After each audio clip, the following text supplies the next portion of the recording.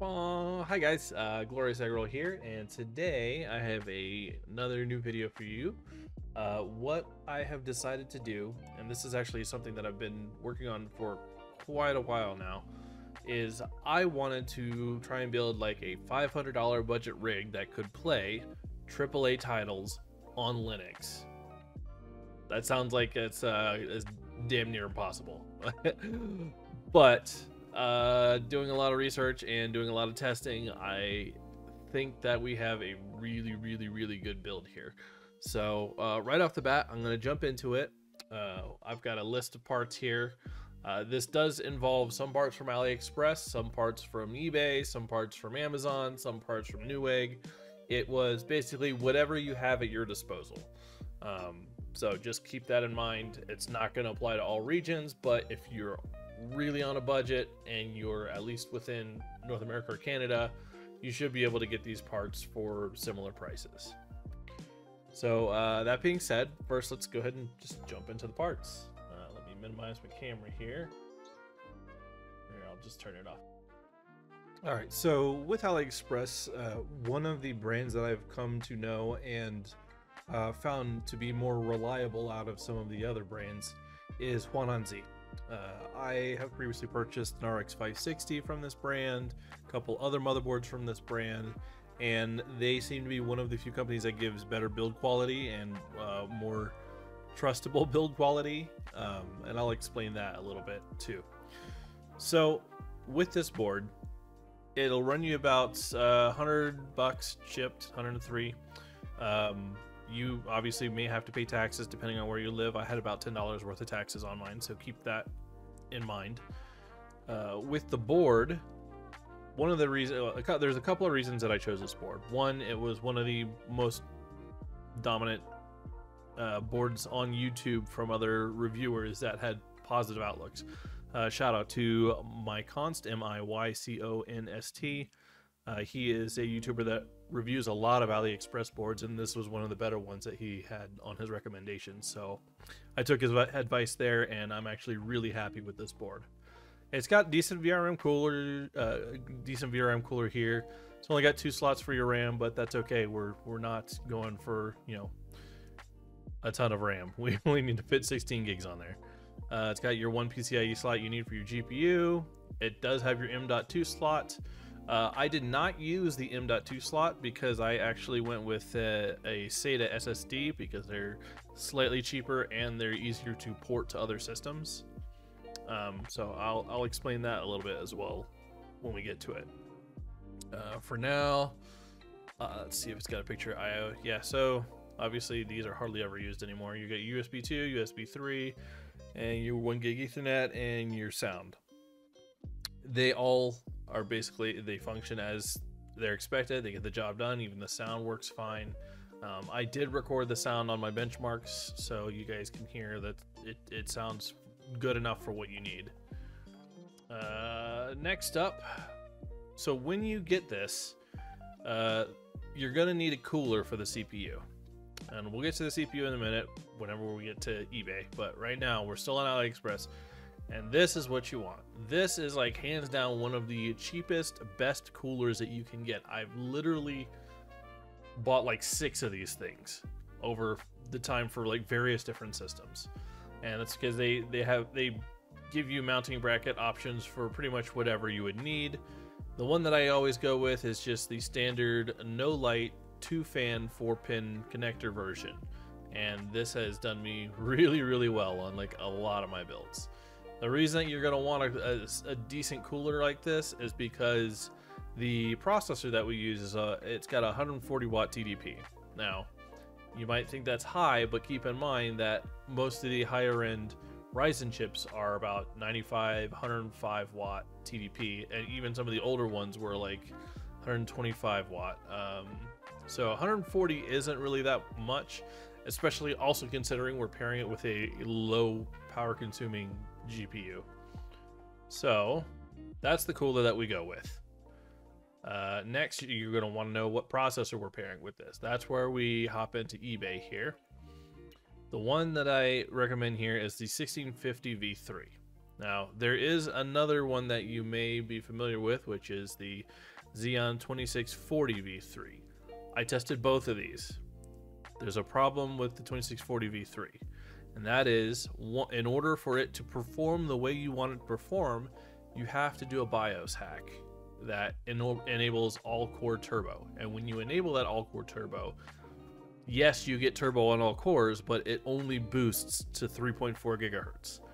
And for some games, especially for example in Elden Ring, I've found that that game wants higher than 3.4 gigahertz. Uh, you can hit since it's boosting at all cores, you can hit 1080p 60 with that processor, but I would not rely on it, and I would not. Uh, I wouldn't say it's very future proof. This one, on the other hand, the 1650 V3 is easily overclockable. It boosts to, I believe, 3.8 or 3.9. Um, but more importantly, with that Snowman cooler, I was I, I have three of these processors, and I have easily overclocked all three of them on various different motherboards to 4.1 gigahertz very easily in the BIOS without any BIOS hacks, without any uh, customized BIOS flashes or anything like that. You just pop in the processor, put the cooler on it, go in the BIOS, and crank up crank up the core to 4.1 gigahertz, and you're done. That makes it a lot easier, especially for people who aren't too familiar with uh, BIOS modding or BIOS hacking. So uh, I, I, feel like those two are kind of like the only really uh, decent picks for this because if you're going to pick a higher end processor, there's no point in doing it on this platform. You might as well just go spend the money on a newer platform. So 1650 V3 Xeon is what we're going with. Uh, the RAM, again, this is one of the cheapest uh, sellers that I found on eBay, and I found them to be very reliable. I have ordered legit at least $200 worth of RAM from these guys. Um, but yeah, you'll 16 gigs of RAM will run you 40 bucks. And that is ECC register memory, which is very, very good. And that is compatible with that motherboard. That motherboard accepts both ECC and non ECC RAM. So there's our 16 gigs of RAM. Uh, next, since we're still on eBay, the GPU that we're going to use is the 5500, the the Radeon 5500 4 gigabyte model. Now, uh, there's a non-XT OEM version, which you can see right here, which runs you anywhere between 160 to 180 bucks. Really well priced, excellent card. I've done another review with this card as part of a list of cards in a bunch of Elden Ring benchmarks. Um, this is my go-to for 1080p at medium settings. And uh, when we get to the benchmarks, you'll see why uh, this card is awesome. Now, if you can get the the XT version, like you see this guy has a 5500 XT, that I would go with that because they usually have better coolers, and I believe it may have higher, slightly higher clocks. But if not, the 5500 4 gigabyte is like perfectly fine. Both of them will get you your 1080p 60 at medium settings, and pretty much like most of the AAA games you throw at it. So that covers your your eBay. Um, if you absolutely have no other choices. There is the R9 390 8 gigabyte card that you can get on AliExpress, and that'll run you around the same price. But I would highly, highly recommend not doing that.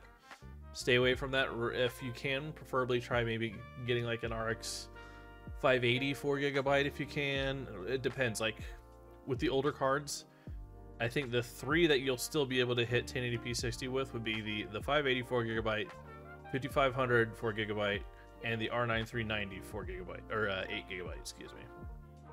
Uh, apart from those, I really wouldn't go with any other cards. Um, on the Nvidia side, I believe you can do the uh, the 1650 Super, but that's going to run you probably closer to $200. I would not go lower than the Super. Um, there, obviously, there's the 1650 Ti and the 1650. Uh, those I have not benchmarked. I only know that the 1650 Super, for a fact, will hit 1080p 60 with uh, medium settings on pretty much every game that I threw at it. So anyway, uh, moving on. like I said, this particular build, we're going where it's it's Linux oriented, so we're going with the radi- the AMD side for the those Mesa drivers, and we want something fairly recent that's compatible with DirectX 12 with VKD 3D, which is why we go with this card. Uh, power supply. Power supply, we went with a Thermaltake Smart 500 watt, just a 80 plus white label.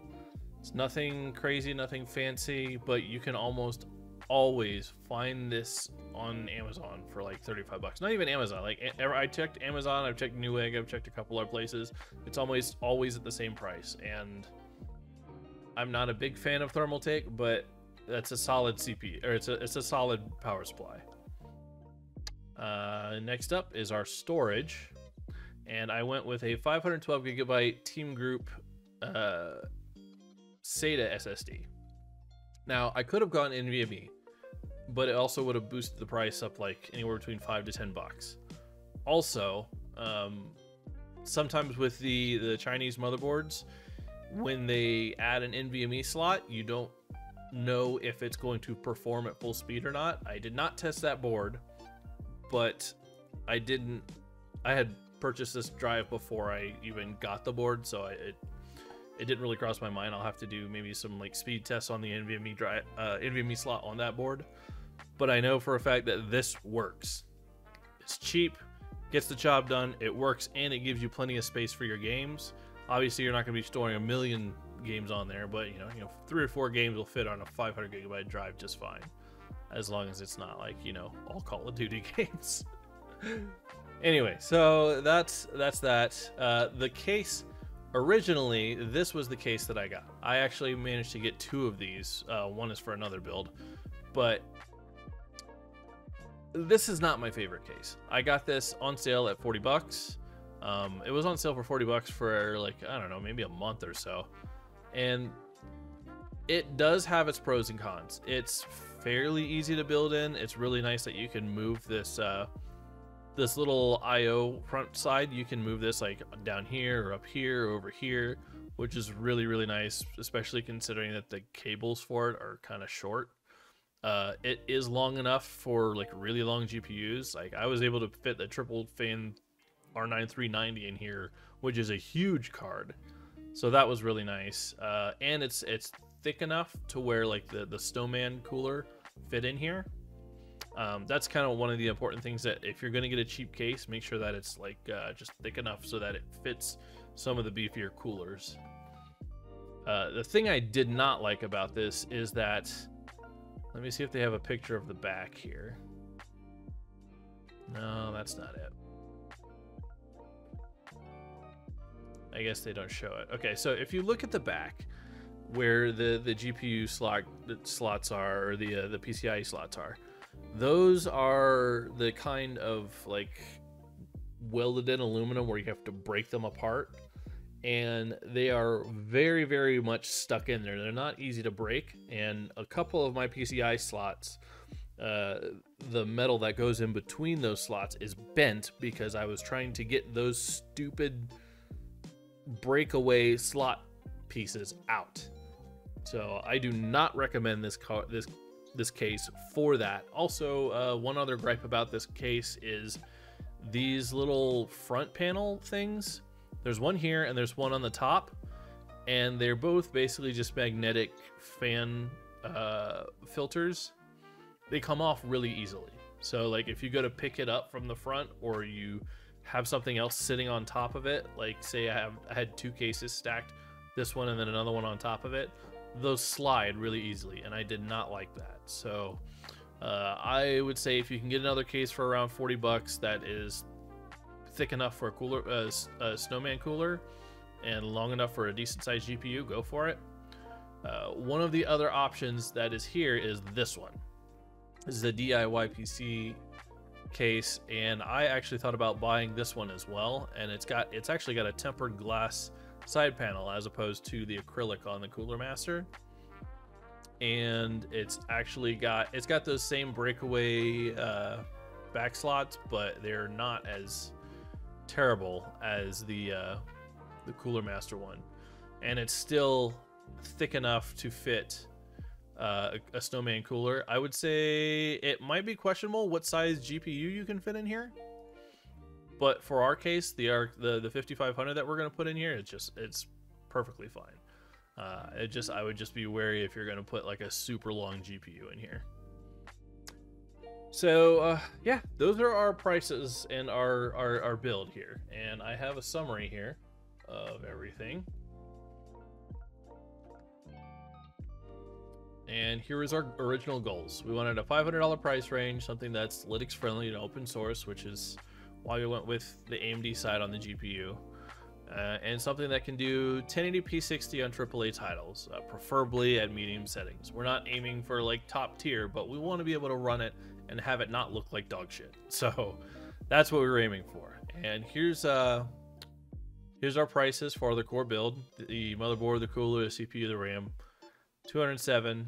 Uh, the remaining base build, which was the SSD, the power supply, the case, and or you know this is an alt. This is the same alt case that I listed, and that came out to another 125 bucks. Last we got our GPU listed here from eBay, and the total for everything was 50118. And then of course you you want to make sure you factor in your 30, 20 or 30 dollars for whatever parts have extra shipping or extra tax or whatnot.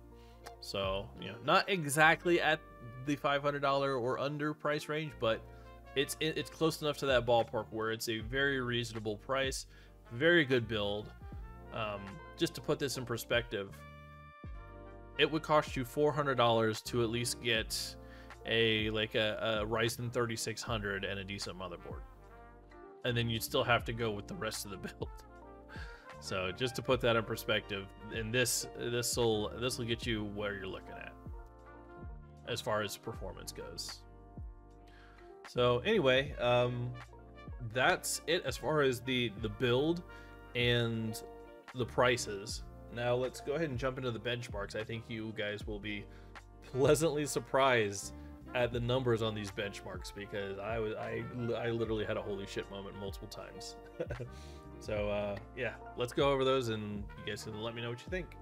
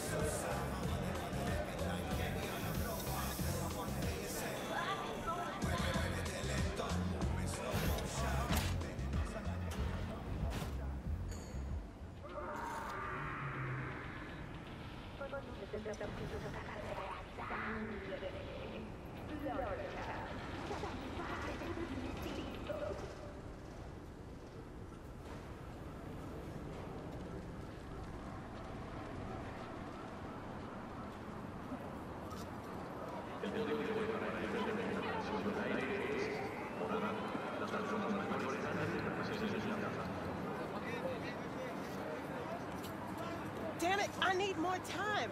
I've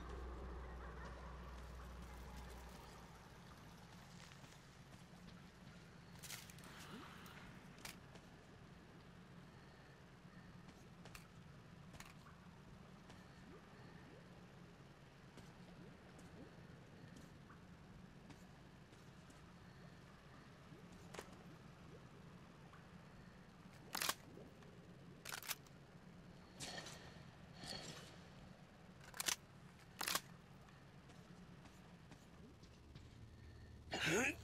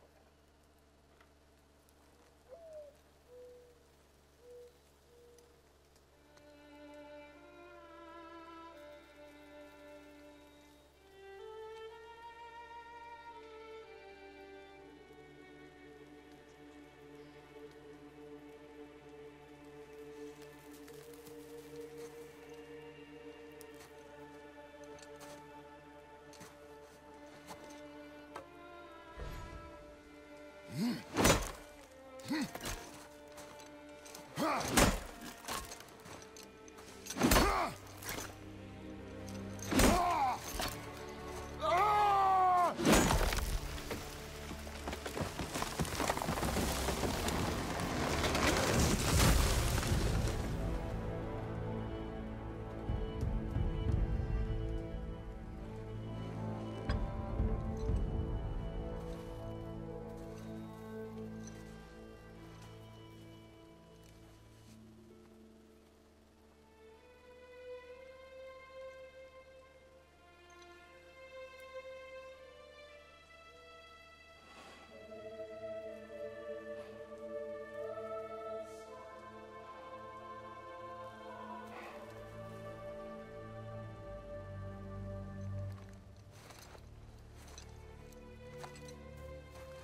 a lot going on. I found some.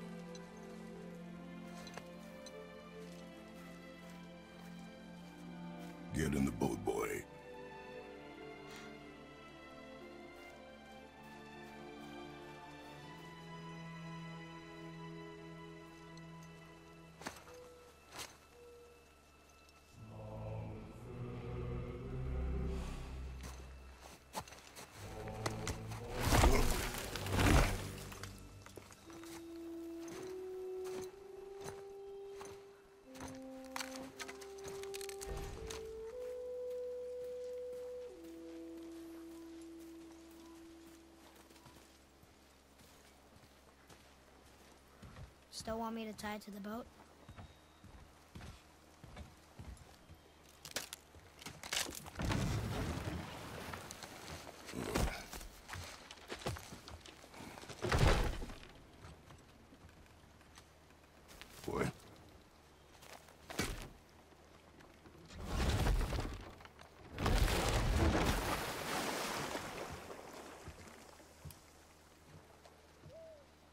That is enough.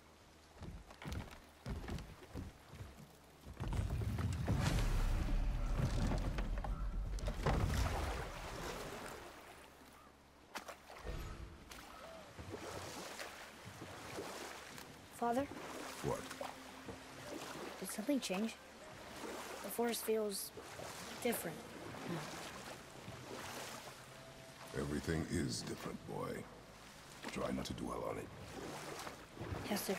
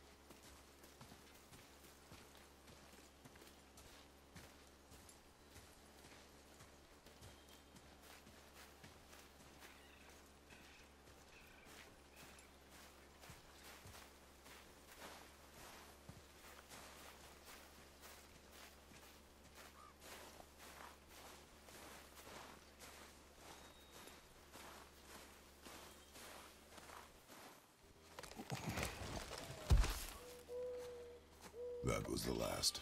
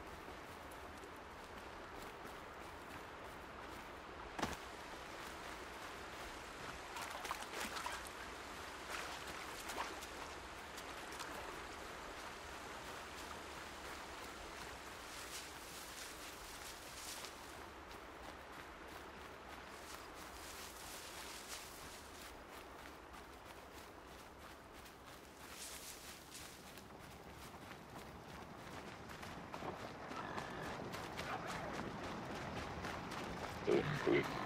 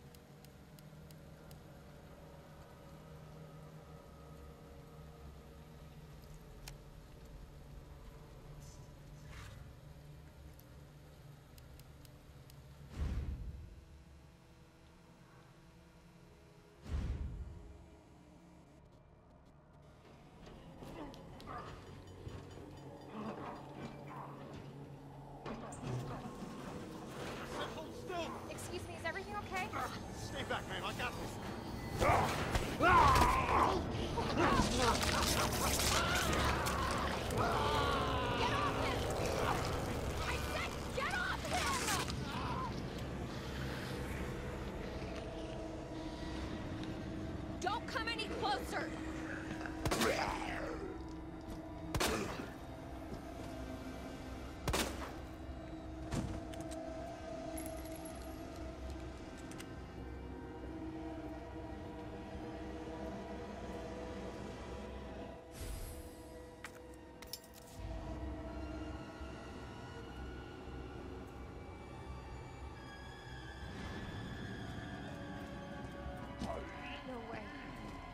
Can't be alive.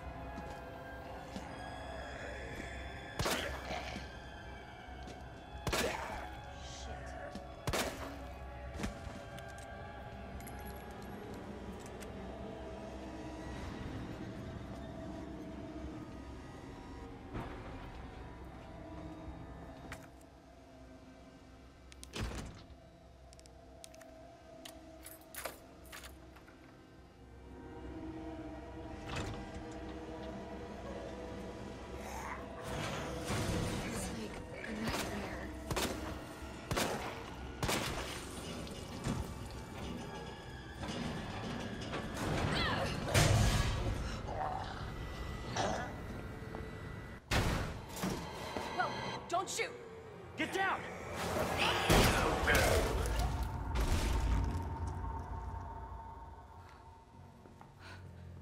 We gotta get out of here.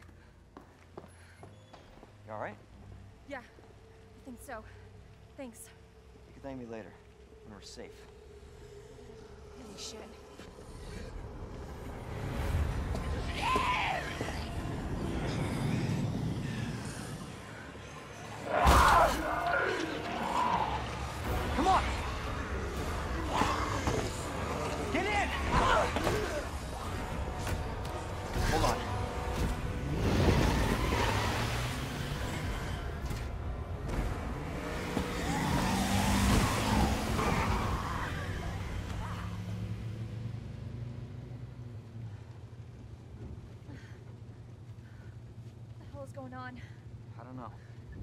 Hopefully they'll have some answers at the police station.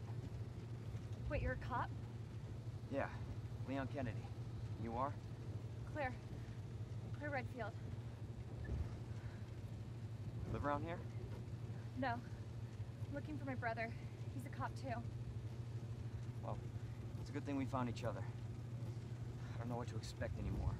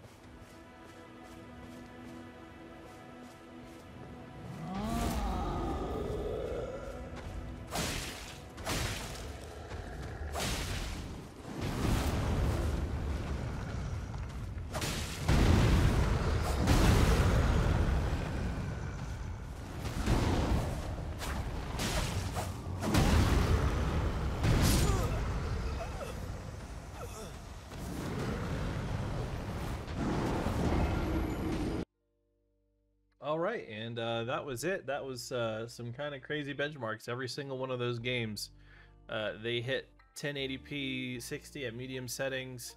Uh, and obviously, as FSR was enabled where possible, but I only enabled it in the games. I did not go out of my way to use the wine full screen FSR, even though it's available if I need it for some games. Uh, I did not use that. I chose to just go ahead and do standard 1080p 60 and only enabled FSR where the actual game had it built in. So uh, it was really, really cool to be able to see that and see that those games were able to hit 60 uh, with the hardware that we're running. Uh, I did want to hop back real quick on here and kind of tackle a couple of the things with the motherboard that I had mentioned before. I was going to just tackle real quick. Um, okay, so two other things with this motherboard. Like I said, I didn't test the NVMe, so I don't know if it's uh, it's full speed or not.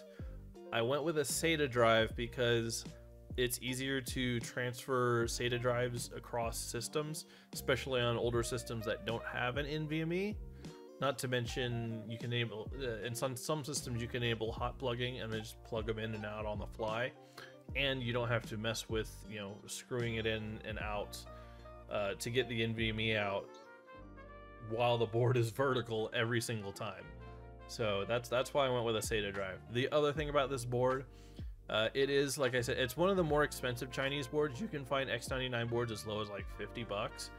But the problem with a lot of the cheaper ones is that they do they use uh, cheaper chipsets. Like this one actually has an X99 chipset, whereas some of the cheaper ones will advertise X99 for the for the build, but then it'll have like a B85 chipset, or it'll swap it out for H. I think 61 is another chipset that they swap it out with.